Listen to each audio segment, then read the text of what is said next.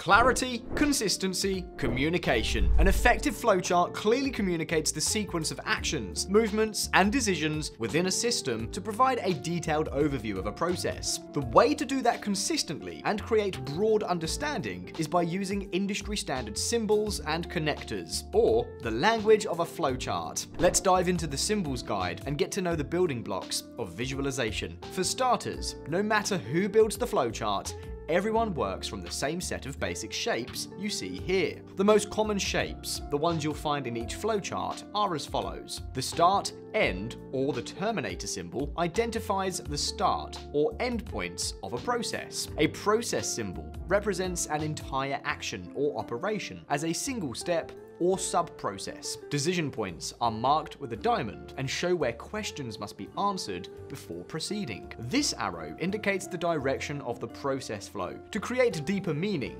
or chart a more specific scenario, there are more advanced symbols. A connector represents the continuation of flow through multiple charts or pages. Input, output, or the data symbol represents received or generated information or material. The note provides space for explanations and comments. An actor symbol shows someone or something interacting with the process or workflow. The document symbol signifies the input or output of a document or report. This one is for more than one. A preparation symbol differentiates between the setup and the work itself, or introduces setup of another process step. Delay indicates a waiting period where multiple things must happen before the process proceeds. Display represents a step where information will be shown to the user. Manual input is where a user enters information manually, and a manual operation symbol relays that part of the process needs to be performed manually. Off-page connector, or the link symbol,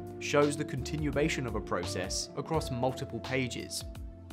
A database symbol represents info stored in a location that allows for search, filtering, and sorting. Internal storage is for visualizing data saved within internal memory. The X-shaped summing junction is the point at which multiple branches converge into a single process, while the cross, or OR symbol, is the spot where the process diverges into more than one branch. The stored data symbol highlights where data will be stored within the process. A predefined process is a placeholder for a complex process that's defined elsewhere. This triangle represents the extraction or removal of specific sets of items. On the flip side, an upside down triangle is the merging of multiple processes into one.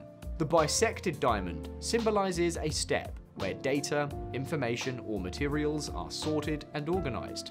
The collate symbol represents a step in the process that requires organizing data into a standard format.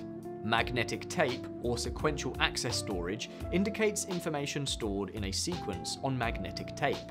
Swim lanes are containers holding process steps within horizontal or vertical lanes.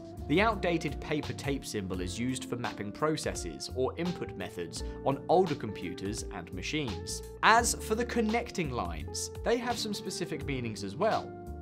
This one simply shows a process flowing from one shape to another. The dashed line denotes alternate paths, or an alternate process. Parallel lines represent a synchronization process, where steps above must happen before those below can occur. There you have it, your complete flowchart symbol and connector guide. The only thing left to do now is to start diagramming with SlickPlan.